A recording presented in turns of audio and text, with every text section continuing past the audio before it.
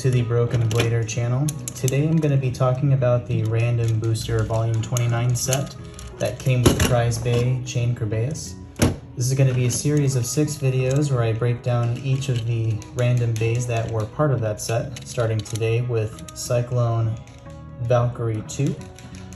Uh, initial thoughts on the bay, I really like the color scheme quite a lot. Um, it's nice to get yet another color of Cyclone that we've gotten before with orange, red, and blue. And now we get a nice little pearlescent white. I am glad that they used the Valkyrie 2 chip as the teeth on it are pretty solid, as you can hear here. So it's a nice set of teeth, keeping it some pretty decent burst resistance. Um, compared to the first Valkyrie, which as we all know was pretty poor in terms of burst resistance.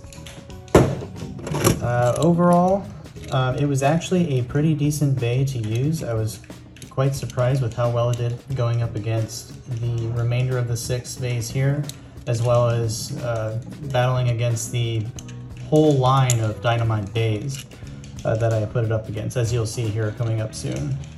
So with that all being said, oh, other thing too, uh, I do like the High Eternal Driver.